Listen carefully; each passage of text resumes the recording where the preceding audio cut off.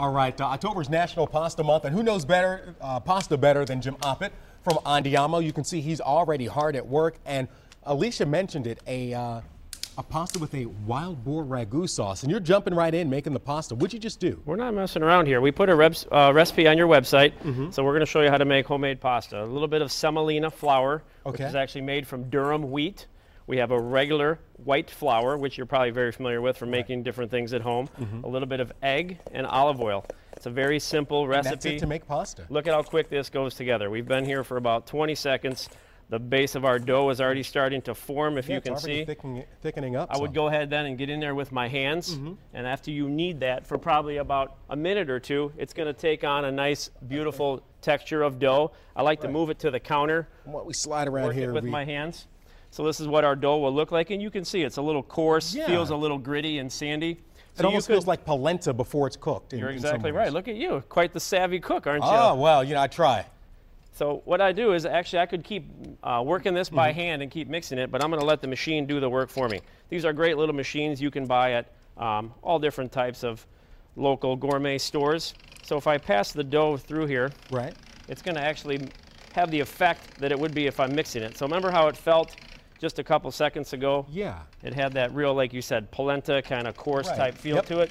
Well, as I pass it through here a couple times, and there's different thicknesses on your machine, they're all very similar. So you start off at the thickest setting.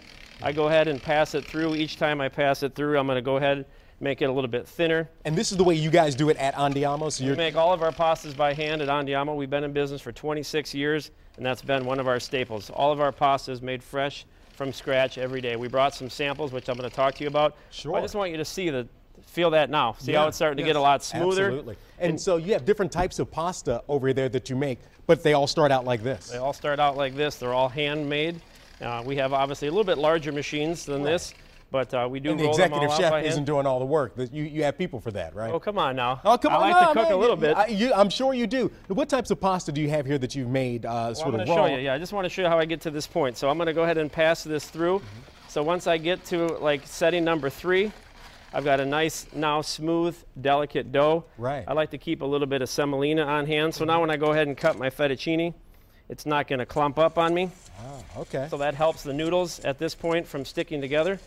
So as I pass it through, and I want to show you how we get to all these different types of noodles. we have about a minute 20 left. Okay, well, let's go ahead and drop yeah, this in because these take about 60 seconds to cook from the fresh state. So we're going to go ahead and get those in our boiling water. So uh, about a, about 60 seconds. So that sounds like most people at home probably overcook their pasta. Well, that's because they're using dry store-bought pasta, and that's about the only option, um, unless you make pasta. And those probably take about seven to 10 minutes to cook. Okay. So as we cut our noodles here, we just want to okay. we There just want to go ahead and sprinkle a little bit of flour, a little bit Mm-hmm. of semolina, because they have to dry. These I made about a half an hour ago. You can see the color difference as they start Absolutely, to yeah. dry. But the beautiful thing is this freezes very nicely. Mm-hmm. I have a linguine here. We also have some that we dyed with a little bit of spinach. Right. So we have a couple different varieties of noodles. So really, homemade pasta is very simple to go ahead and cook at home. Large pot, you can see how big my pot of water is here. It's very important that you have a high amount of boiling salted water in relation to your pasta. Right, right. So a simple recipe, you can make this in about five or 10 minutes at home. The wild boar ragu, it's hearty. It's a nice, wonderful autumn dish, simple to make at home. So once your pasta is cooked, uh, make sure you don't rinse your pasta. That's a big misnomer too. Most people like to go ahead, drain their pasta, and then they rinse it with hot water. All the starch and all the flavor is Gets- definitely gets in the pasta there. Right off.